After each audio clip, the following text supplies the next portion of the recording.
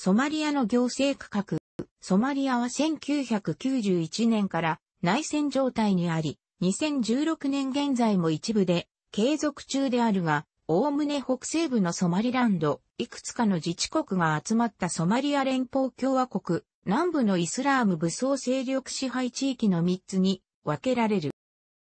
内戦以前のソマリアでは、18の上位区分、第1級行政区画と90の海区分、第2級行政区画から成り立っていた、1990年12月31日時点。内戦による無政府化、さらに2012年に連邦制を採択した新政府発足によってこの行政区画は有効に機能しているとは言えないが、未だに新政府が全土を実行支配していないことと、新行政区画が未確定であることもあって、現在でも使用されることが多い。ソマリアの最大行政区画は18ある。この行政区画の日本語訳は必ずしも安定しておらず、日本の外務省などは地域と訳しており、日本の公安調査庁などは州と訳している。なお、英語ではリージョンと訳される。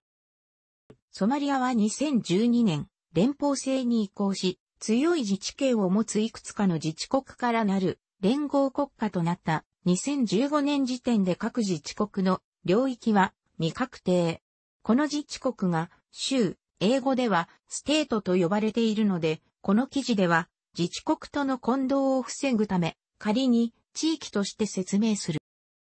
地域、州の下には90の下位行政区画が存在する。1990年12月31日時点。現在は多少変動している。可能性があるこの日本語訳も安定はしていないが、ここでは仮に地区として説明する。ソマリアの住民の大半はソマリ族であり、そのソマリ族は大きく5つの氏族に分かれており、それぞれがさらに細かい氏族に分かれている。それぞれの氏族は大体がまとまって暮らしており、氏族が事実上の行政単位となっている。ソマリア内戦後、1991年にソマリア北西部がソマリランドとして独立を宣言した。一方、ソマリア南部ではイスラーム武装勢力アルシャバブが一時期に比べてかなり小規模になったとはいえ、依然として力を持っている。2013年にソマリア連邦共和国が成立し、ソマリア内のソマリランド、アルシャバブ支配地域以外の地域はおおむね参加することとなった。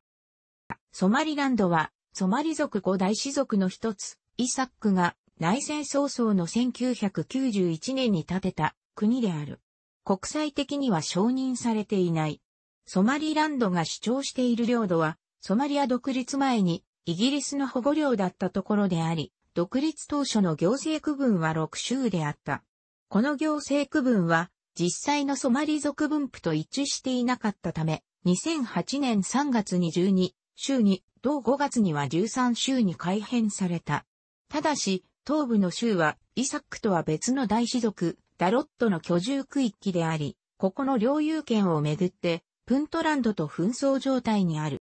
2013年に発足。内戦後初めて国際的に承認されたソマリア中央政府である。ただし、2015年時点ではまだ発足から間もなく、いくつかの自治国の集まりに過ぎないとも言える。ソマリア連邦共和国の主張は、大統領、プレジデントと呼ばれるが、各自治国の主張も、また大統領と呼ばれる。プントランドは、ソマリ族五大氏族の一つ、ダロッドが建てた自治国である。政府の実権は、必ずしも政府が主張している領土の全域に及んでいないが、比較的安定している。ソマリア沖の海賊が本拠地にしていると言われているムダグ、エイルのいずれもプントランド内にある。ソマリア連邦共和国への参加を表明しているが、2015年時点では、やや距離を置いている。プントランドでは、ソマリアの行政区画をもとに9つに再編された地域に区分される。ガルムドゥグはソマリ族五大氏族の一つ、ハウィエが建てた自治国である。この名称は、旧行政区分のガルグドゥード地域、ムドゥグ地域からなるとして付けられたものだが、実際には、ムドゥグ地域南部を支配するに過ぎない。なお、ガルムドゥグの南に位置するハイマンヒーブスと呼ばれる自治国とは合併の構想がある。ソマリア連邦共和国の大統領府、議会などが置かれている。一時期はイスラーム勢力の包囲を受けて消滅寸前の状態にまでなったが、2015年時点では比較的治安を取り戻している。南西ソマリアは、ソマリ族五大氏族の一つ、ラハンウェインが主に住む自治国である。2014年10月29日の話し合いにより、従来の行政区分で、米地域、バコール地域、カブシャベレ地域が相当すると決められた。11月18日にはが大統領に選ばれた。ジュバランドは、ダロット、オガデン、マレハン、ラハンウェインなど、多数の氏族の居住地域である。1925年までイギリス領だったこの土地の歴史は、その後も複雑であり、ソマリア内戦後もここを支配する勢力が幾度も変わった。2015年時点では、軍閥ラスカンボニ運動のリーダーがジュバランドの大統領を務めている。従来の行政区分では、ゲド地域、カブジュバ地域、中部ジュバ地域が相当する。ソマリア南部は内戦後、最近までイスラーム過激組織の影響力が強かった。中でも強かったのが、あるシャバブであったが、2015年時点では、ソマリア政府軍に押されて、主要都市のほとんどを失っている。それでも、小さな村落などを拠点に、今も活動を続けている。